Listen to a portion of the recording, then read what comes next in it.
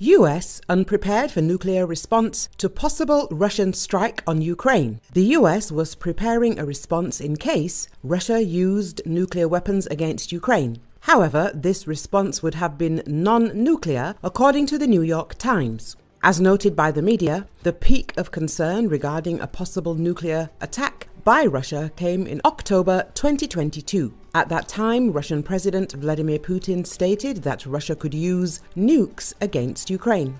According to the New York Times, during several weeks in October 2022, the White House was engulfed in crisis. The administration of US President Joe Biden feared that Moscow might use tactical nuclear weapons on the battlefield. According to the sources cited by the publication, the White House's concern was so great, the task forces were convened to determine what the US response might be. Biden's team believed that the response should be non nuclear, but according to representatives of the US President's administration, the reaction should be dramatic, possibly a conventional attack on units that had launched nuclear weapons.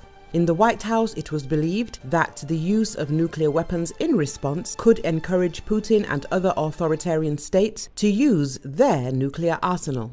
It is worth noting that Russian President Vladimir Putin has repeatedly threatened Ukraine and Western countries with nuclear weapons. In addition, Russia has moved its nuclear weapons to Belarus. However, the President Alexander Lukashenko cannot use them independently. As reported by the American news outlet CNN, the US was preparing for a nuclear strike by Russia on Ukraine by the end of 2022. Washington relied on some intelligence information. We had to plan so that we were in the best possible position in case this no longer unthinkable event actually took place, a senior US administration official told CNN. According to another US official, from late summer to fall of 2022, the US National Security Council convened a series of meetings to develop contingency plans, including for either very clear signs of a nuclear strike in the making or an actual strike. How we would respond, how we would try to preempt it or deter it, the official explained. The United States believed that the loss of Kherson could provoke Russia to a nuclear strike on Ukraine, as Moscow could see it as an existential threat, the unnamed American official said a nuclear strike could also be seen by the Kremlin as a tool to deter Ukraine from further liberation of territories or a potential attack on Russia.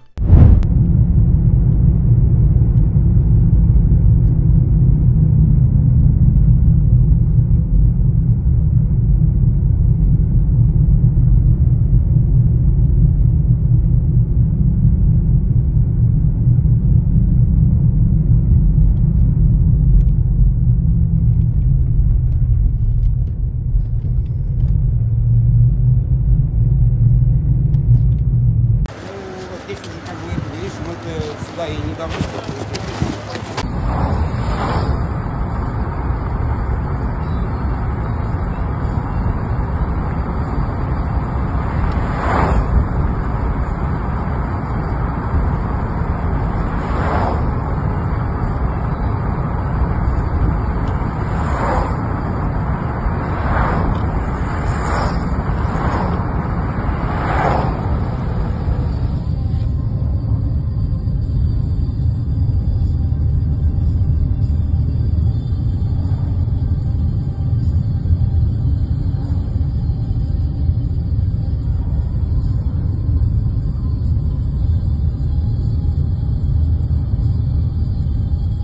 Ну, первый раз вижу, конечно.